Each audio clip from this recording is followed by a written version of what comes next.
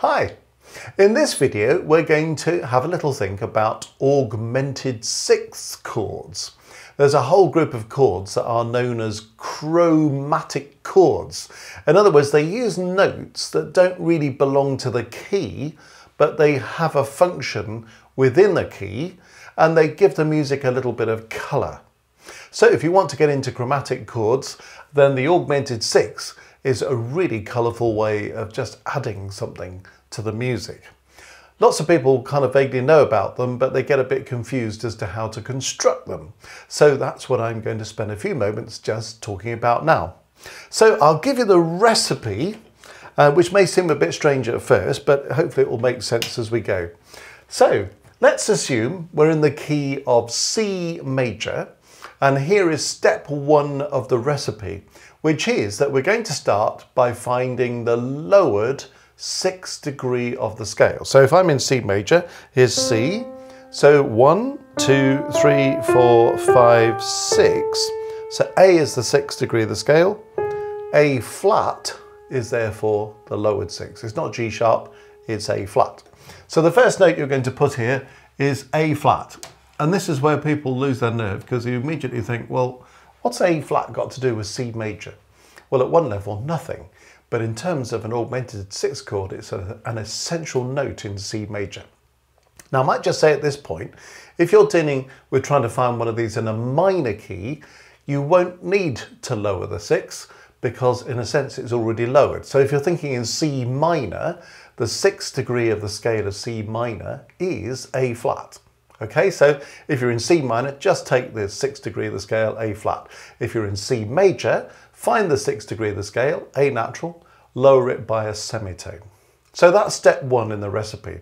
Step two in the recipe is, having found this note, the A flat in the case of C major, Find the note that is an augmented six above it. There's the clue, augmented six. So what's an augmented six above A flat? This is where you have to know your intervals.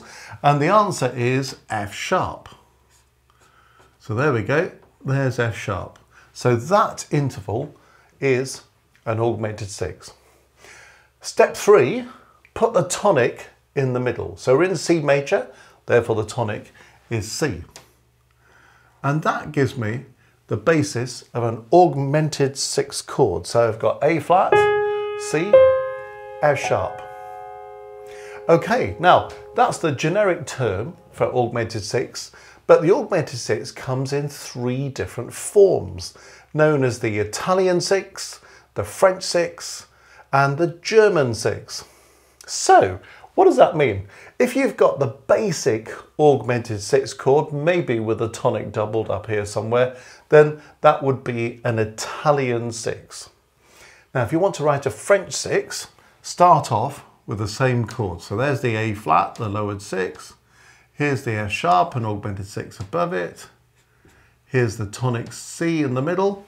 And if you want to turn it French, what you do is you add the note that is an augmented fourth above this bottom note. So bottom note's A flat, augmented fourth above that is D. So this is the basic augmented six. So, and that's the basis of an Italian six. If I want to turn it French, add the augmented fourth. It's a rather cheeky chord, isn't it? I rather like the French six, I have to say. So there we are, there's the French. Same thing, but with an augmented fourth above the bottom note. Now, what do I do if I want to turn it German? Here's the basic chord again. So there's the A flat down at the bottom. I've got my C tonic in the middle and that augmented six F sharp up at the top. And what I'm going to do this time is to add the note that is a perfect fifth above this bottom note. So A flat's at the bottom, a perfect fifth above that is E flat. So I'm now going to add in E flat, all right? So I've now got A flat, C, E flat, F sharp. Now when you listen to that, you might say, sounds like a dominant seventh chord. Well, it would be a dominant seventh chord if the top note were G flat, because A flat, C, E flat, G flat would be a dominant seventh in the key of D flat major. But because it's F sharp at the top, even though it sounds the same, it's actually a German sixth. So here's the basis of the Italian. Here's the basis of the French, and here's the basis of the German. If you want to write one of these chords, where do they tend to go after you've played them? Well, they tend to move on to chord 5 or 1C and then 5. So um, if I take an Italian 6, I'm in C major. Now say I want to put an Italian 6 in next. So there's my Italian 6. Having done my Italian 6, I'm going to go 1C and then 5. Or I might just take my um, Italian 6 and go straight to 5. And the same will be true the French or the German, but here's the French. Hear that augmented fourth air is rather nice, isn't it? Goes on to a 5 or 1C, 5. And it will be the same in the minor key. So if I had a French 6 and I was in C minor wanting to go 1C5, that would work the same way. The same would be true of the German six. The only thing to watch out for on the German six, because you've got a perfect fifth between A flat and E flat, if you go on to chord five, you might just end up with consecutive fifths, doing something like this. So be a little bit careful with the German six that you don't then end up progressing to a chord that gives you a consecutive fifth. So with a German chord, it's quite often better to go to 1C and then to 5. That would be the major. This would be the minor.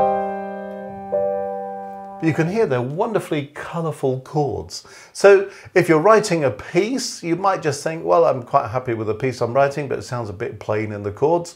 Maybe you could slip in one of these every now and again and it just gives you a bit of colour. Or if you're playing a piece and you're thinking, well, this is a bit weird, I'm in C major and I've got A flats and F sharps and I don't know what. Well, you might just think, ah, could it be one of these chords? And then you'll be able to just express the moment when you're playing it. So there we are, a brief introduction to the augmented six chords in the Italian, French and German forms and an invitation to kind of get happy with them, get familiar with them and to use them in your composition or recognize them in your playing.